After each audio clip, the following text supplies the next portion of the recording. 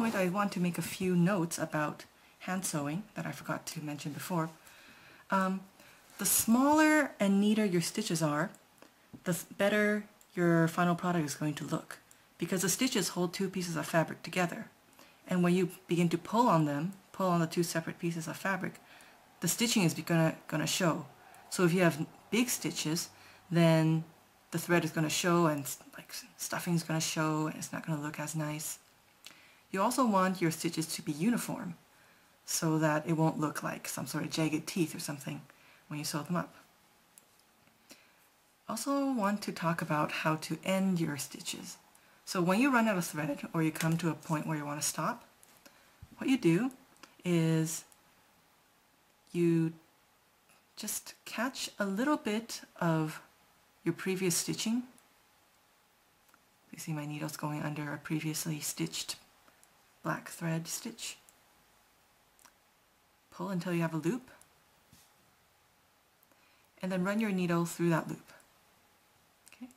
thus creating two loops. See, two loops. You pull so that you make the, on the thread, such that you make the first loop smaller. Uh, it's kind of blurry. You see, now the first loop has all but disappeared. And then you run your needle through this current loop again, and you do the same thing.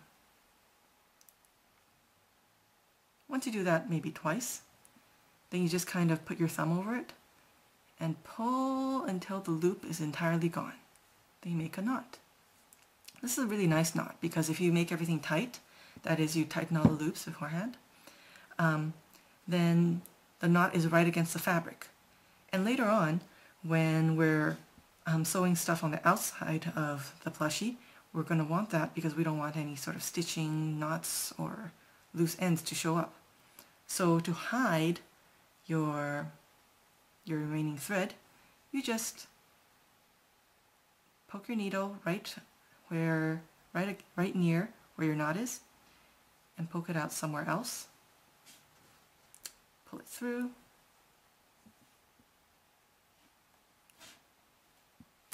You have this dangling loose thread, but that doesn't matter. You just snip it. And it's gone. There we go. Oh yeah, one more thing I, I need to mention. When you're hand sewing, make sure you make your, your stitches tight, but not too tight. If they're too tight, they're going to accordion. But if they're too loose, then the, what's the point? The, st the stitching is going to come apart, your plushie won't hold together. But yeah.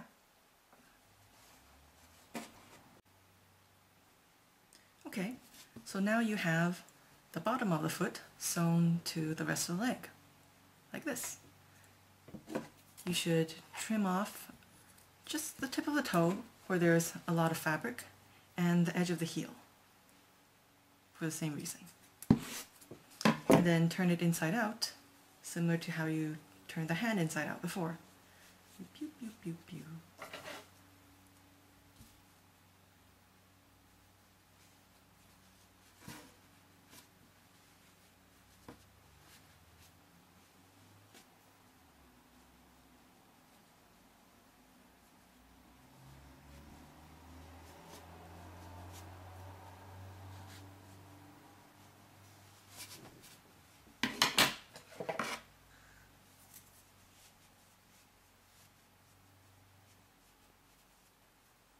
There we go.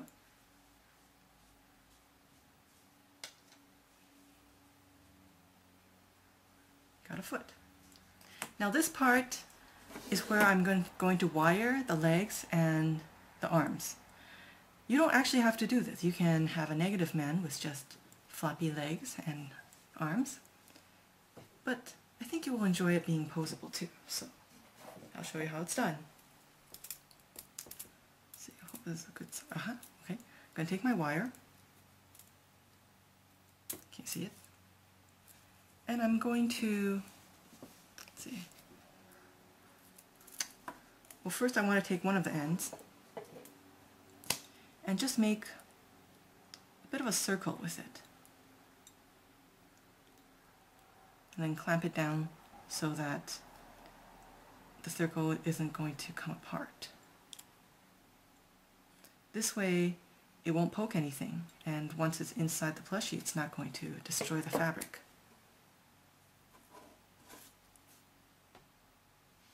It's just kind of a circle, a loop. I'm going to try and straighten this sucker out a bit. And I want to make it about the length of my leg all the way up to the toe and then double it around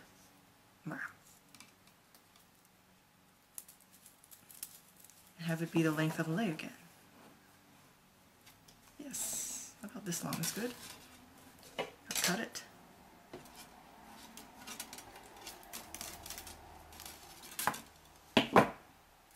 Here's my length of wire.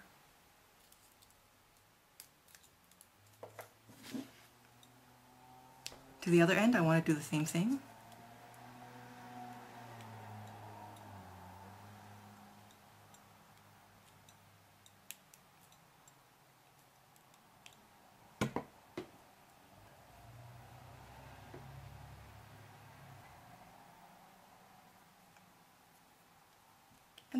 The I'm going to fold it in two, and basically the folded end I'll just leave mostly loose, mostly kind of open. I'm not going to crimp it too much. And I'll just stuff it into the leg.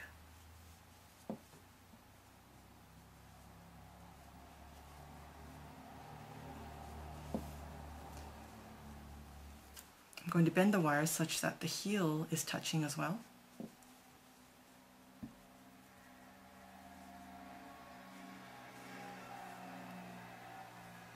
Least try to.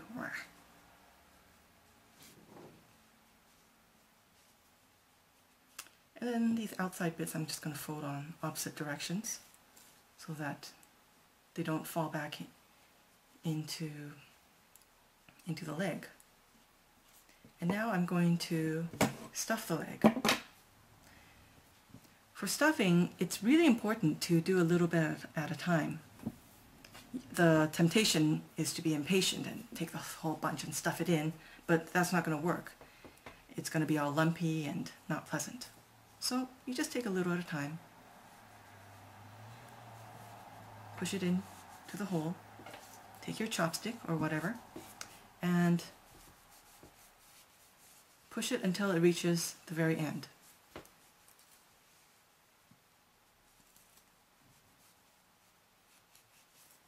Just keep doing that. Or you can use hemostats That just makes it so easy.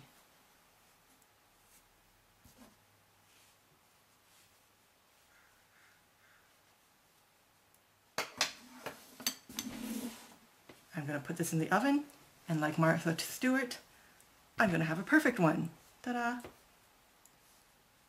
This one's been stuffed and it has wires. So you see this wire isn't very strong so the move and the fabric is pretty thick so it's not it doesn't hold a pose too much, but it's quite charming, I think. Now it's time to pose the hand, to put wire in the hand, which is quite a bit harder.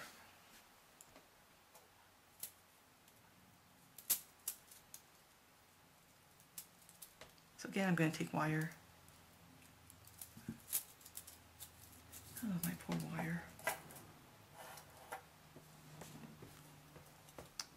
loop the ends.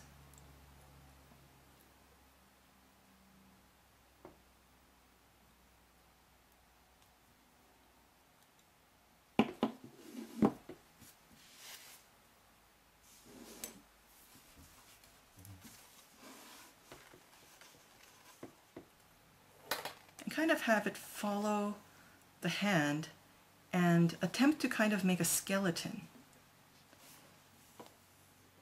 So first, I'm seeing how long it takes, how, how much wire I need to touch the pinky, and then fold it back in.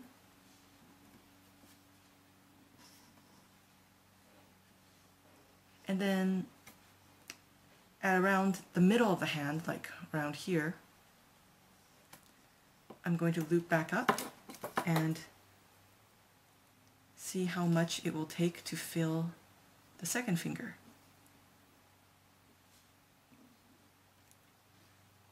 And then at around the same point, one more finger. At this point, like, it's good to be kind of generous with the wire. Because more often than not, you're going to find that you don't have enough wire. And loop back again to cover the thumb.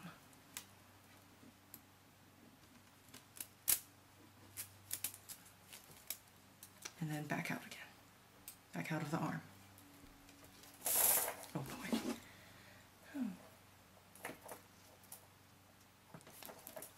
Cutting the wire, looping it.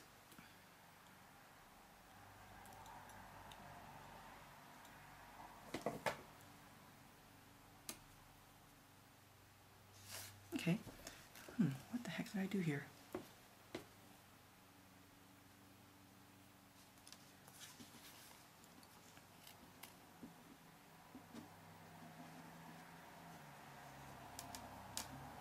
So at the base of each finger, where all of them,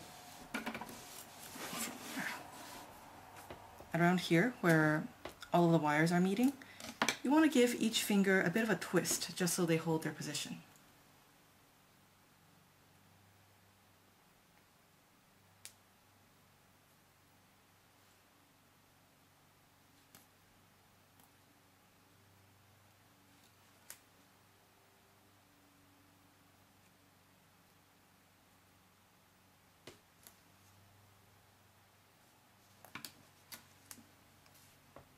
You can see here the thumb and the first finger have been slightly twisted.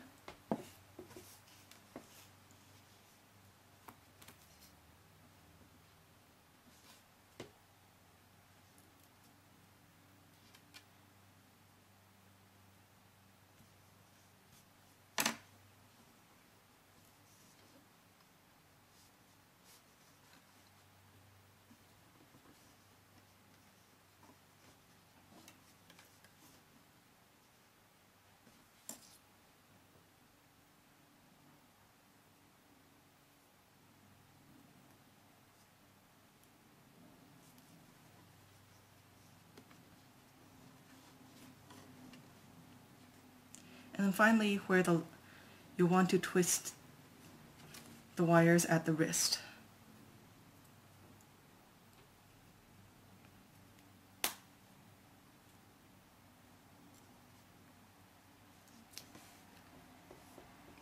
Well, there, you see, I have kind of a hand. Hello.